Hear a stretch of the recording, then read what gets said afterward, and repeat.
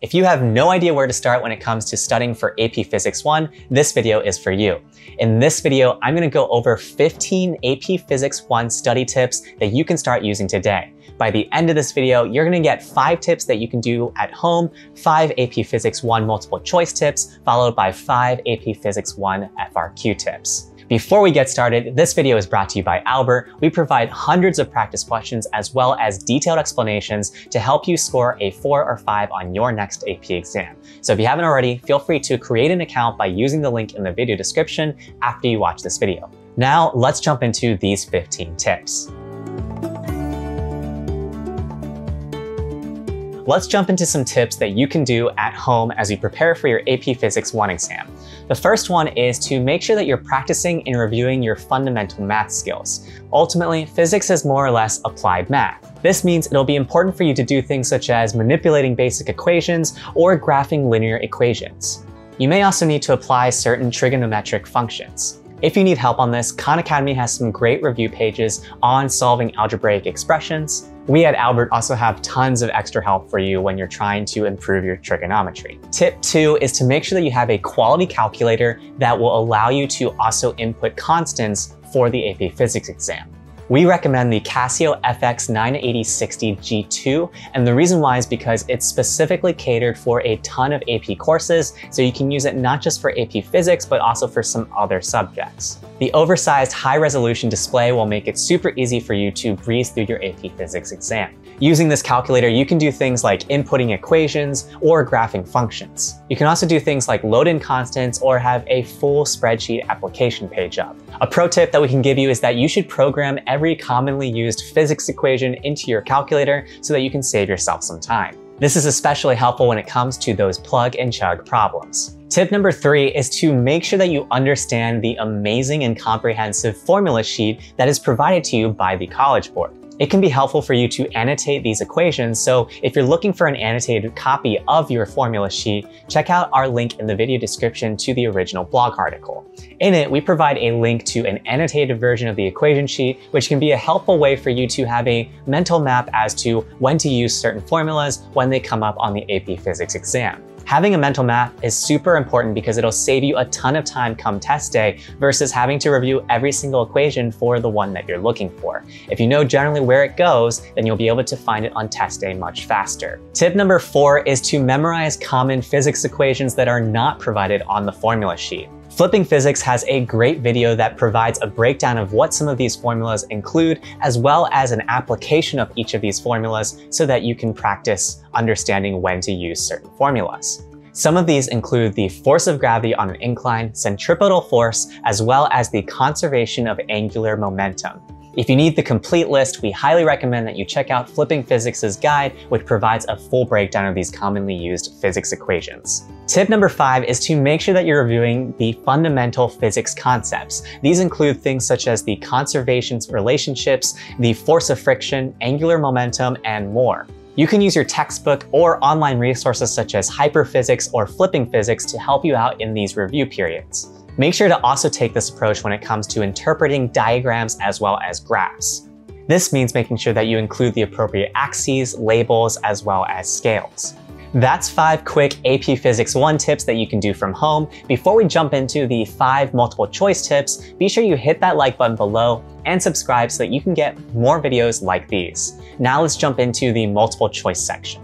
The first tip that you want to make sure you do is that you're drawing diagrams for everything. This is especially a case for problems related to force or vector algebra. Draw coordinate axes and include any relevant vectors or component vectors. Make sure that you label each piece with the appropriate symbols. Being able to add and subtract a vector to form a resultant vector is pretty much at the heart of physics. Make sure that you get comfortable drawing free body diagrams. There are a multitude of scenarios in which this is really important and we provide some links in the original blog resource, so be sure to check that out. For example, you might be asked about flying squirrels or marbles rolling down ramps.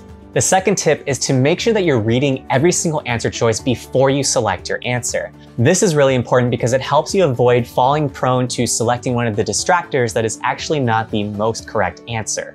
Try to think about the answer before you look at the answer choices. That way you can try to see which one is closest to the thing that you are thinking about. This is especially important for the multi-select questions in which exactly two of the answer choices are going to be correct. Tip number three is to master the relationship between work, energy, and power.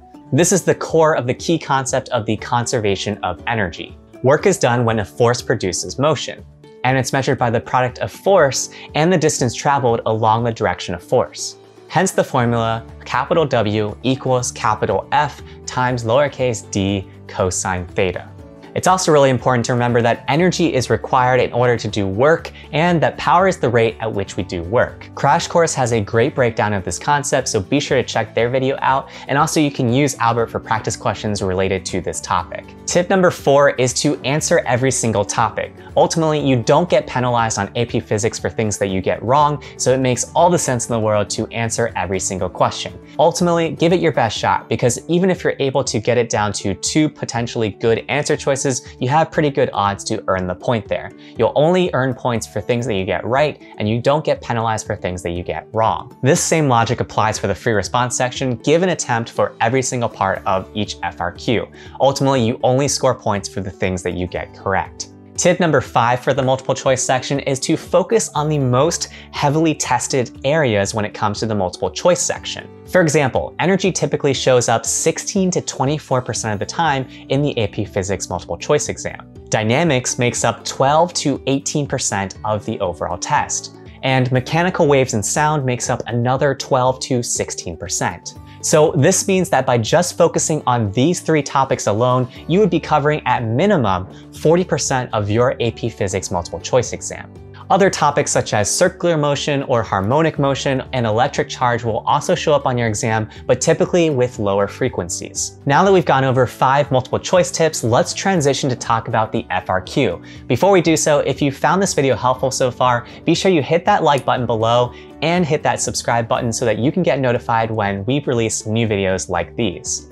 The free response section is comprised of five questions, two that are 12 point questions and three that are seven point questions for AP Physics 1. Every exam has at least one experimental design question, one quantitative or qualitative translation question, one paragraph short answer question followed by two additional short answer questions. The first tip is to read all five questions that you've been given and figure out which one you think is going to be easiest to tackle. From there, tackle that one first. And the reason why is because you need to make sure that you're pacing well for your AP Physics exam. For each of the 12 point questions, you're gonna wanna budget at least 25 minutes of exam time in order to adequately answer them. And for each of these short answer questions, you're gonna wanna make sure that you have at least 13 to 15 minutes to respond to each of those. Use your watch to keep track of how you're pacing so that you don't run out of time when it comes to giving an attempt for every single free response question. Tip number two is to make sure that you're supporting your answer with thorough explanations. It is really important for your AP graders to be able to understand the how and the why behind your answer. If you just give the correct answer, but you don't actually show the work behind how you got to that right answer, then you're not gonna score full points. Make sure to always directly answer the question at hand and to reference any sources that have been provided it can be helpful to provide graphs, diagrams, or equations to support your answer. Tip number three is to understand the task verbs and exactly what they're asking of you. Words such as state, derive, sketch, verify, and explain have very specific meanings on the AP Physics exam. It's really helpful for you to review the College Board's breakdown of these task verbs to understand what they're looking for when they use each of these task verbs. If you need extra help here, our accompanying blog post has a link to a helpful resource that a teacher put together in case it's helpful as you review these task verbs. Tip four is as you practice, make sure that you're reviewing the score guidelines thoroughly. It's really important that you understand why and when you'll earn certain points as to the situations when you won't earn certain points. Ultimately, each FRQ is going to be a little bit different, but the underlying principles and concepts that are being tested of you will be the same. Albert can be a helpful resource here for your AP Physics supports because it provides a ton of example free response questions as well as detailed explanations as to how a student might have responded in order to score full points. After each practice question that you work through, it's really important that you are able to understand and explain why you got a particular question right or wrong and what you can do next next time to correct that mistake. It's by learning these sorts of mistakes that you make along the way that you'll build up your confidence in the free response section and ace the exam come test day. Tip number five is that if you don't know how to answer part A of a particular multi-part question, just carry on. What we mean by that is what you can do is you can make up a value for what you would have used coming out of part A and use that for every subsequent step